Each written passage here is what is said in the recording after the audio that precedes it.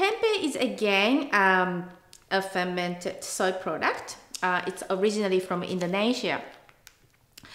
Um, like natto, this is quite typical fermented food, which means interesting smell and stuff like that. So this is um, whole soybeans and fermented with culture, uh, but it makes a like cake like this, uh, you know, solid foam. Um, it has a very interesting smell, which I believe that many people wouldn't like it, like natto. But I believe that the natto would be um, more traumatic uh, smell. I don't know. So when you cut it, so you see the, uh, the, the you can see the whole soybeans.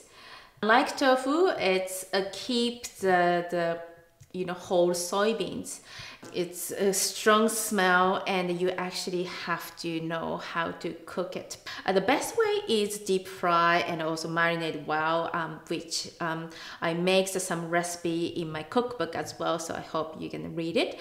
So this is um, actually plain thing. So it's not marinated and anything, just a plain format. So you can marinate with your favorite uh, seasoning.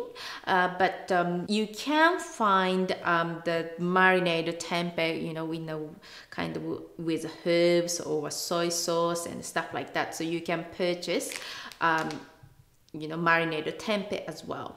So um, again, this is beautiful natural probiotic food and uh, it's very healthy. Just um, yeah, remember that the natto and the tempeh both have a interesting smell, but it's extremely good for you. So uh, the the you know don't give up once.